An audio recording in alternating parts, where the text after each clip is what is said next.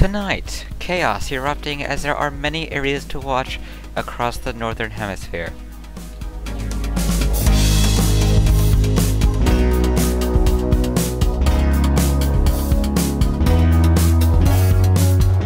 And now, the latest around the wide world of tropics. Tropical Weather Bulletin for June 28th. Well, it's a doozy as though it may not seem like it yet. We have two tropical cyclones, or potential tropical cyclones for that matter. Celia continuing to persist and being alive. It's now the fifth longest TC active during the month of June. We also have PTCO2L. Uh, that was estimated by the National Hurricane Center earlier. It's expected to become a tropical storm tomorrow. It's day 28 Atlantic hurricane season. We have 2L there, and it's expected to eventually strengthen to a hurricane before making landfall in Nicaragua by the end of the week.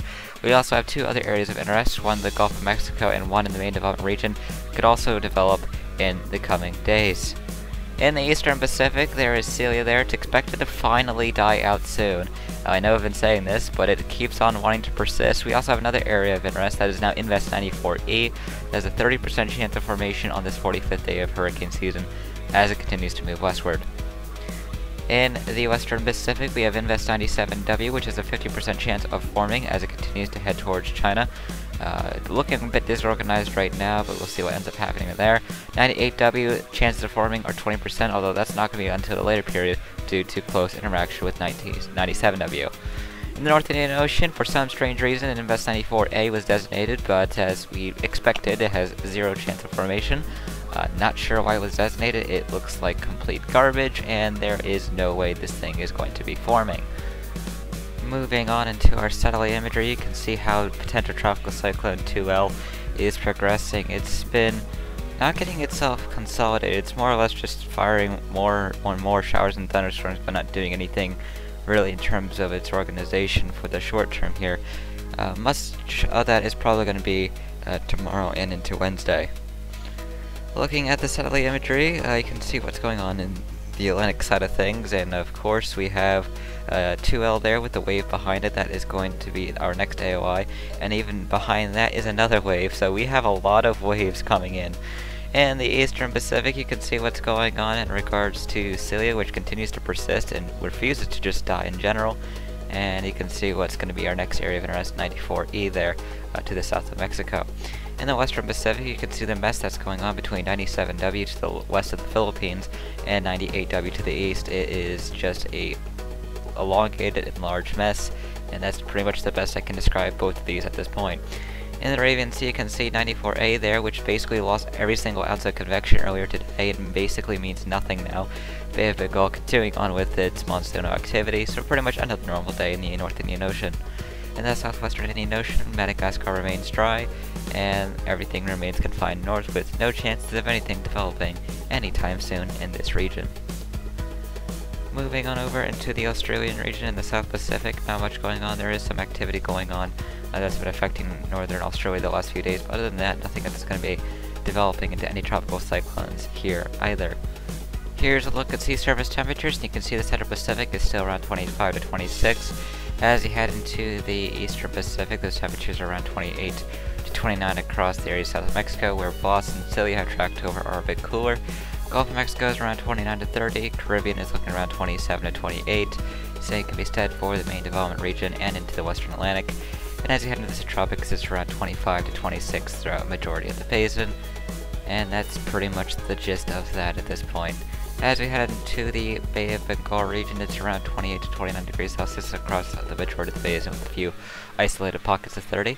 In the Arabian Sea, it's around 28 to 30 degrees Celsius there, and in the Western Pacific, it remains around 30 degrees Celsius as the most uh, common sea surface temperature in the South China Sea. As you head eastward, those temperatures slowly decrease out of the 30s and back into the upper 20s and near the Australian region it's around 26 to 27 degrees Celsius, with temperatures decreasing to 25 to 26 as you head into the southwestern Indian Ocean. As we look into the sea surface temperature anomalies, you can see the Atlantic is still above average as usual. In the western Pacific, it's also above average, especially in the South China Sea. And the Bay of Bengal and Arabian Sea are also looking above average, with the eastern Pacific still looking, for the most part, below average. Uh, especially thanks to that cold neutral that we're currently in right now. Here are the ocean heat content. You can see the Caribbean continues to see areas that are just growing in ocean heat content, especially to the south of Cuba. We still have that random death spot of OHC uh, in the eastern Gulf, and in the western Pacific you can see that everywhere east of the Philippines is just primed with ocean heat content there. The eastern Pacific still lacking entirely in terms of that department. So, with that being said, we're looking at the models now a lot to get through with the models with all the chaos going on, so I'll get right into that. Here is what the Atlantic is doing in the 18Z GFS. Uh, courtesy of Tropical Tidbits, uh, let me make this the right wind settings for once here, uh, since I usually haven't. But there you go, now you get a better idea. Uh, but this is what the GFS does as we head into the 18Z run. Uh, pretty much develops both ways, but it takes way too long to develop uh, the potential tropical cyclone 2L there pretty much having that other wave get itself together before uh, 2L does, which does not seem right. Uh, GFS has treaded way too far south, unrealistically south, uh, and therefore they have a weaker system hitting into Nicaragua, and then of course a tropical storm hitting Puerto Rico from that uh, AOI that is behind 2L uh, at this time. After that, they continue to have it going north, and eventually uh, that's pretty much it. Um, which is a bit surprising. Um, this is not exactly a run that is probably going to verify what the most likely scenario is, is that it remains just north of the South American continent and does end up becoming that hurricane. And there is that chance of course uh, that it does cross over now. While it may have been in the silly ranges last night it looks like more models are actually uh, coming onto that possibility now. In terms of the eastern Pacific you can see what's going on with that. Um, Celia being initialized too strong as usual. Uh, for some reason looks like they decided to put me on the analysis side of things, that's why.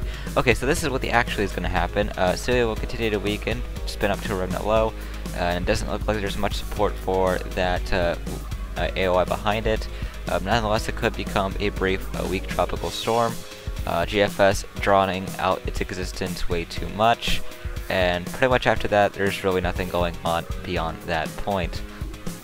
Uh, pretty much after the 4th of July, we were looking at a lull in the Eastern Pacific. And the Western Pacific, uh, it's a bit more realistic here at least. Uh, we have the tropical storm forming out of 97W, eventually 98W becomes something as well. And of course, we see the impacts for Japan and South Korea, while China also sees some impacts. But thankfully, we are dealing with more of a realistic type situation here, uh, where it makes landfall uh, as a category 1 at most, probably high-end tropical storm based off the pressure relationship. Uh, so we're not looking at something as bad as what we have been seeing, uh, but it is worth noting. We'll get more into that once we get to the longer ranges. And then, last but not least, we have the North Indian Ocean because we have 94A uh, there. And you can see, uh, in the analysis side of things, you can't even see an LPA. Guess what? There's still no LPA. There is still nothing. There is still nothing. And guess what? There is still nothing. And this is why we have a 0% chance on yet another useless invest appointed by the Joint Typhoon Warning Center. Huzzah!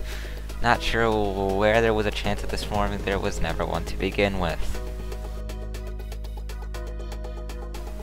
Here is the longer range, and things continue to stay a bit interesting. After the landfall that we see in Nicaragua, the wave that's behind uh, pretty much dissipates over the mountainous terrain of Hispaniola. However, what's left of it seems to still remain, given the fact a new tropical storm spawns out of it and pretty much is to the east of the Bahamas by hour 240. Whether that happens remains to be seen. We don't even know whether the wave is actually going to develop into a tropical cyclone uh, at this time, so put that with a bit of grain of salt, but this time we're not seeing uh, that play, play out. In terms of Western Pacific, that's only the other thing that's got um, things going on between hour 120 and 240. Uh, you can see what's going on, that landfall at 9884 millibars in China, the remnants of 98W pretty much passing through southern Japan. And after that, there's really not much going on uh, for at least a few days, although it looks like there is potential for uh, more storms to form. Um, afterwards, and it seems the run hasn't finished loading out on my end. Uh, so that's something we'll cover on the silly ranges, I guess. Here is your shameless plug. If you are way too addicted to us, you can visit our Force 13 store where you can request animations, buy our merch, and get everything that has some random Spinny Cloud logo on it uh, that legit says Force 13. You can even buy pillows. We love those. We have two things to look at for the silly range today in terms of the GFS side of things, and you can see that we're starting off with the Atlantic, uh, because it looks like that storm does not die after stalling out for days. It seems that it goes back up north, and eventually decides that it is going to hit Nova Scotia, Newfoundland before, you know, racing off as next tropical system. So that is uh, somewhat interesting. Don't think that's going to happen considering the fact we don't even know the way that 020 is going to form and that's what would have to happen in order for that scenario to play out. It would then have to die. And considering the fact that's like stalling for three days, I don't see that happening. The Western Pacific is where things are even more hilarious, and you can see why. After this little weird elongated mess comes out of Japan, we have two more systems trying to fight for dominance. This doesn't exactly end well with the two going their own separate ways and both becoming typhoons. One just sitting there and doing nothing for days upon days upon days while the one on the western end becomes a 940 millibar super, uh, well, not probably it's not super typhoon, but a normal major typhoon. You've also got another tropical storm forming, heading up northwards, and by hour 384, you have three freaking typhoons going on, one that just won't move, one that is just rapidly intensifying near the Mariana Islands, and one that is just chilling off the coast of Vietnam. So, um, yes, welcome to another weird situation in which the GFS basically wants the Western Pacific to be way too insane. Typically happens at this time of year, and I just don't see this happening. You can just throw this 18Z runoff as per usual. Looking at the on this day for today, we're going to a very, very bad year.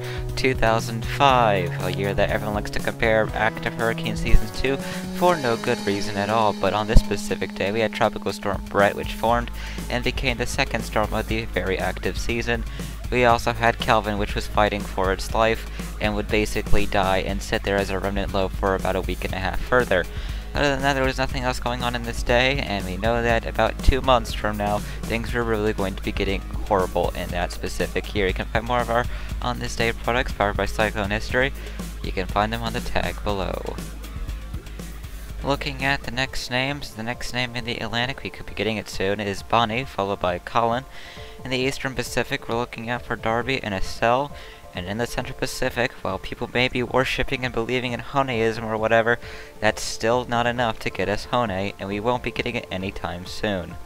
In the Western Pacific, the next name is Chaba, followed by Aere, and in the North Indian Ocean, the next two names here are Sitrang, followed by Mandous.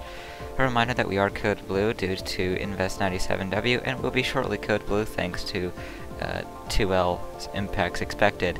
In the Australian region, we're looking out for Darian and Ellie up next in the southwestern Indian Ocean. Three nights left to say the Lamba's up next, and in the South Pacific, it's Holly. We'll be back for another truck weather bulletin tomorrow night while keeping you updated on everything that's going on in storm updates.